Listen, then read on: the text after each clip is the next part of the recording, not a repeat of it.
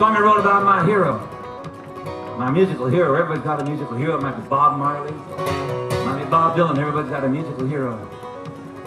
I've had a whole bunch of them in my time. But the guy that mattered the most to me when I was coming up and learning how to play guitar was Sam Hopkins. They call him Lightnin'. That was his professional name. Sam Lightnin' Hopkins. Sam was from Texas, from a little town called Centerville, Texas. Small town. And I met him here in Seattle up at the old Fresh Air Tavern. And this is what happened.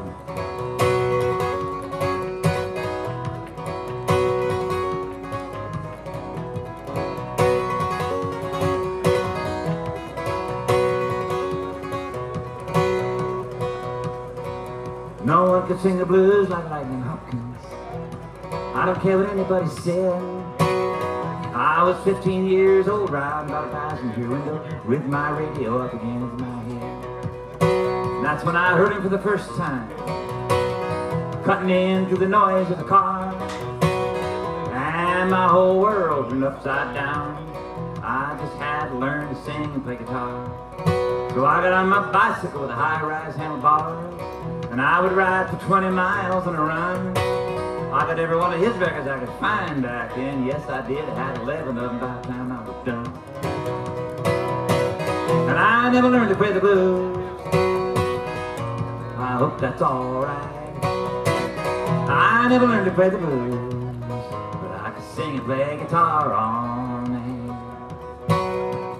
Now, years later up in Seattle town, Lightnin' came to playing three nights in a row. I caught up with him early in the dressing room. Somehow I just had to let it know. So I took out my guitar and I started playing. And I made him up a song to tell it right about the radio, the car, and all of his records. And how glad I was to meet him that night. And I sang about what he taught me without even knowing it.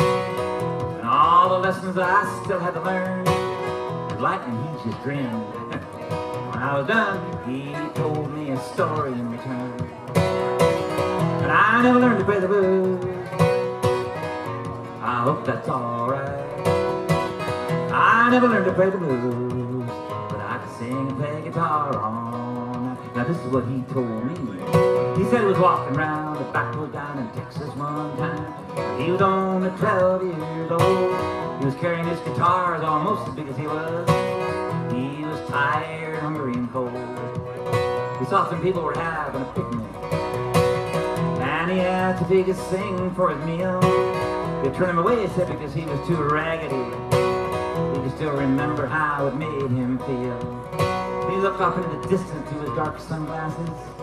And he grinned a little more just for chance. He said, now I got money in the bank back home.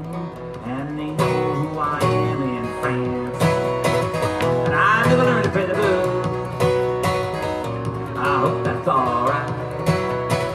I never learned to play the blues. But I can sing and play the guitar all night, yes I can.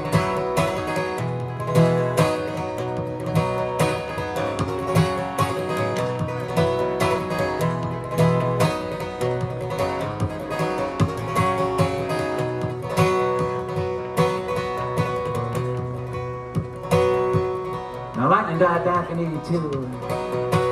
I can still remember where I was and how I heard. I was playing a meeting place in Dublin. Local blues singer gave me the word. Now some people they pass right through you. And maybe they leave a little mark. Some people shine like a light for you sometimes. Help you find your way when it gets dark.